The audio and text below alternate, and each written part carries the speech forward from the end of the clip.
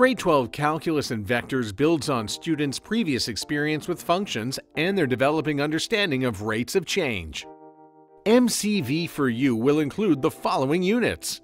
Unit 1 Rates of Change. Do your grandparents ever complain about how much the world has changed in their lifetime? Well, with the invention of modern technologies, it can often seem like the world is changing much faster than it did in previous generations. In mathematics, investigating modern phenomena requires understanding the behavior of a function and predicting its change. Complex systems that can't be solved algebraically can show patterns or be dictated by their previous states. In this unit, you will connect your knowledge of functions to explain how a system or equation can be expected to change over a short or long period of time. Unit 2 Derivatives over the course of human history, astronomers and philosophers have attempted to understand the motion of the stars and planets without success. That is until Sir Isaac Newton invented differential calculus in the late 1600s, allowing astronomers of the time to determine and prove the elliptical orbits of our nearby planets and stars. In today's society, derivatives remain fundamental to the mathematical methods employed in nearly every modern industry. In this unit, you too will be able to explore the vast significance of derivatives as you begin building connections between the key features of a function through its first and second derivatives. Unit 3 Curve Sketching What is the best way to package 500 grams of cereal if your goal is to use the least amount of material possible?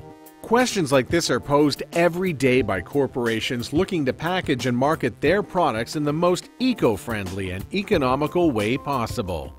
In this unit, you will learn to draw connections between the derivatives of a function and the shape of its graph, as you use the derivatives to determine the key features of the graph.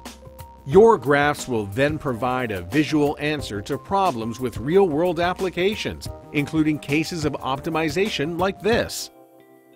Unit 4 Special Functions Sinusoidal, Exponential, and Logarithmic.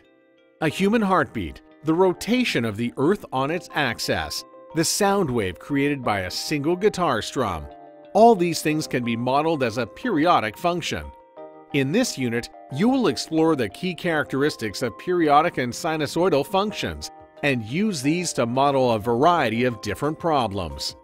You will also investigate the rate of change of exponential functions and begin examining a special type of logarithmic function. Unit 5 Vectors, Geometric, and Cartesian. Thousands of planes take off into the sky every day. To keep them all from crashing into each other, air traffic controllers use vectors to track each plane's current location and the direction it's moving in. In this unit, you will investigate vectors in 2-space and 3-space, perform operations on them, and use the properties of these operations to solve a variety of real-world problems. Unit 6 Lines and Planes The street systems and grids that make up the layout of a city can all be described using lines and planes. As you delve into this unit, you will need to recall your knowledge of intersecting lines in two dimensions as we ask you to extend those ideas into a third dimension.